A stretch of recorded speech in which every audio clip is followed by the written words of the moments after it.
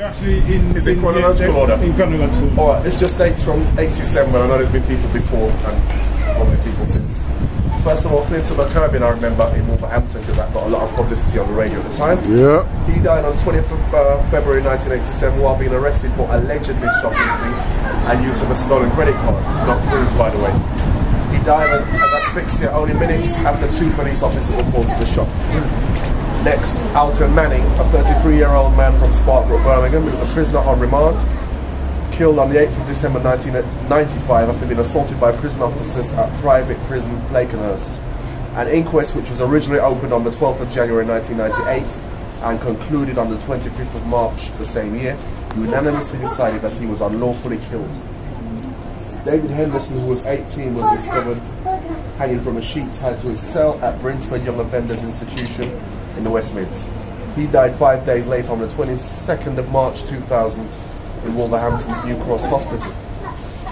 Martin Green, aged 25, was a prisoner who became dehydrated from heroin addiction. Martin of Burton on Trent, Staffordshire, was 11 days into his sentence at Blakenhurst Prison, Worcestershire, when he died on the 15th of July 2002. He'd been detoxing after being jailed 11 days earlier for dangerous driving.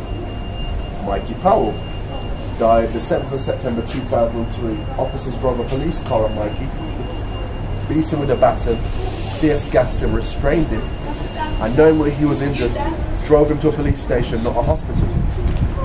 He died later that night. He was 38 years old and a father of three young children. He'd never been in trouble with the police before and was well known and respected within his community. Michael Bailey.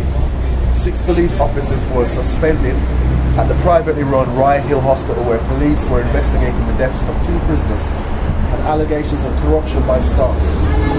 Two prison officers were suspended immediately by the the death of 22-year-old Michael Bailey on the 24th of March 2005 in its segregation unit.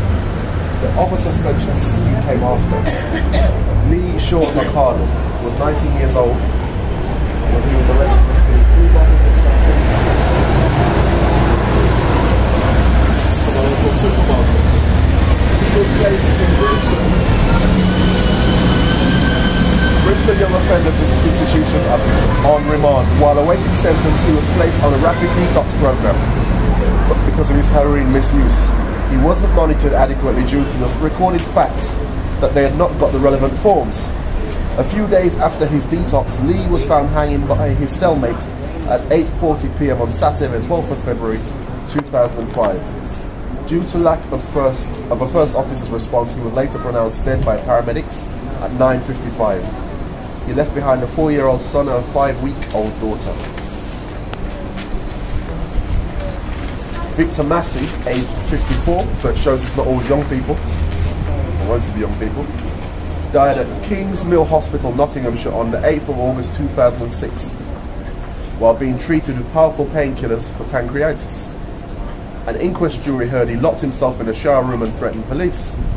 A security supervisor said CS gas was used on Mr. Massey after he tried to stab a PC through the shower room door with a piece of glass. He was then pinned to the floor and handcuffed. A pathologist concluded Mr. Massey died from cardiac arrest following restraint in combination with pancreatitis, pancreatitis, I if I got that right, and the drug tramadol. Lloyd Butler, aged 39 from Sheldon, Birmingham, was arrested following a call from his family that he was drunk and incapable.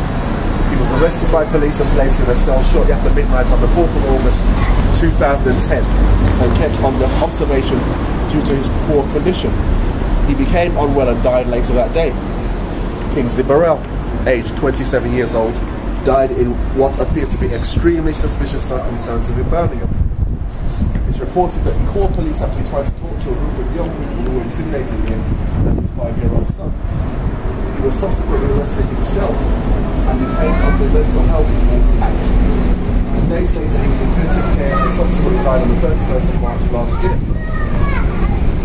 Finally, for now, Demetre Fraser, a 21-year-old black man. Our people are seeking answers from police after he allegedly fell to his death from a tower block on the 31st of May last year. It was reported that police officers visited Demetre at the flat where he was staying on the night that he died. There are others, but they'll talk about those later.